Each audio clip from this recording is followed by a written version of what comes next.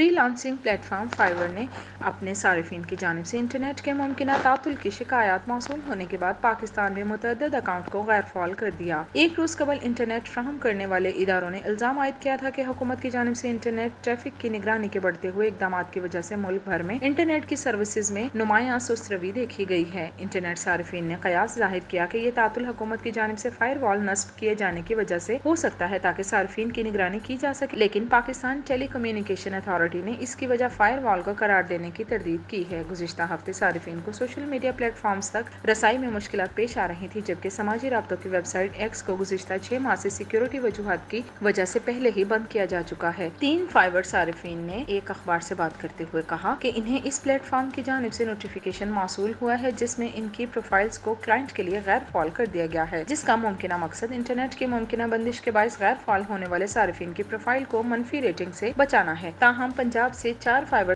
صارفین کا کہنا ہے کہ انہیں اس طرح کا کوئی نوٹیفیکیشن موصول نہیں ہوا، جو اس بات کی نشاندہی کرتا ہے کہ پلیٹ فارم کی جانب سے محدود شہروں کے صارفین کے لیے یہ قدم اٹھایا گیا ہے۔ صبح پنجاب کے medical content writer Sajid Hussain کا کہنا ہے کہ گزشتہ ہفتے انہیں فائبر سپورٹ سے ان کے فائبر اکاؤنٹ پر ایک نوٹیفیکیشن موصول ہوا تھا، جس میں بتایا گیا کہ پاکستان میں انٹرنیٹ کی سروسز تعطل کی وجہ سے ان کے گگز کو دنیا بھر کے کلائنٹس کے لیے غیر فعال کر دیا گیا ہے۔